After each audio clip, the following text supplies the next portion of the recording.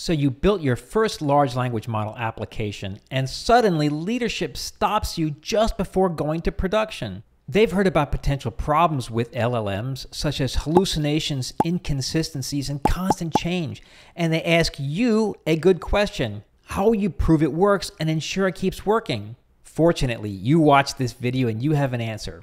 You have an evaluation framework.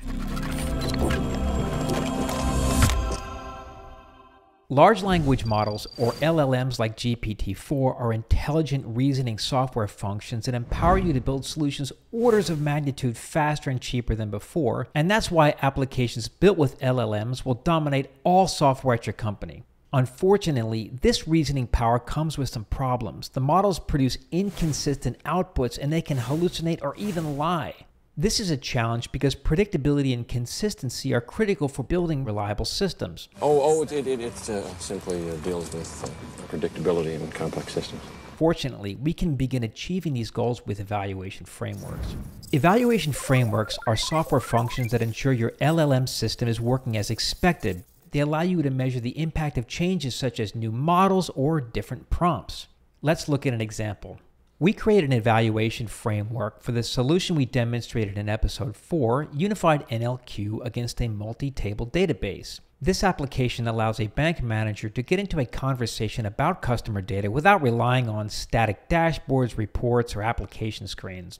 The core function is generating the correct SQL code to answer the user's questions, and this requires an agent to develop and execute a plan for gathering the data across multiple tables. Since the two most important aspects of this solution are the model and the agent instruction, we're going to attempt to answer two questions in our framework. First, which model performs best? Second, which agent instruction performs best? Choosing a different model is simply a matter of changing the API called OpenAI, and we will compare GPT-4 with GPT 3.5. Let's look at the three different agent instructions we're going to evaluate.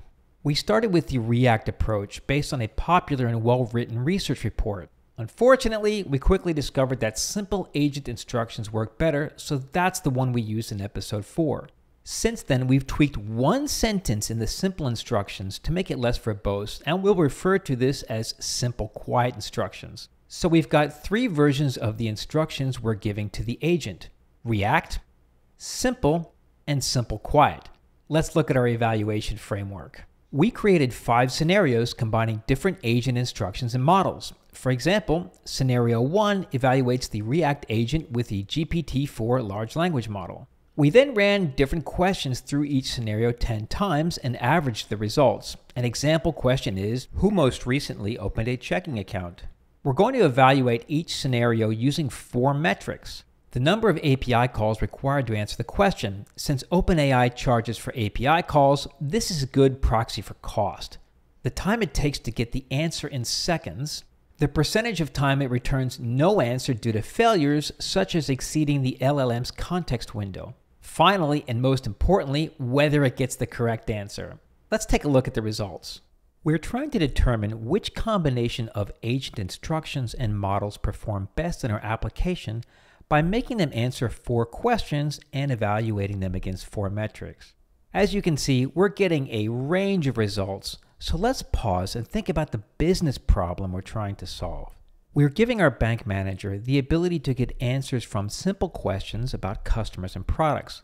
Currently, their only options for getting these answers are guessing, learning how to program in SQL, or calling a meeting with their business intelligence team.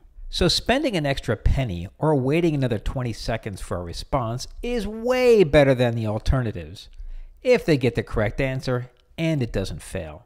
Thus, we care most about a low failure rate and a high correct rate. So which combination of agent instructions and model is best?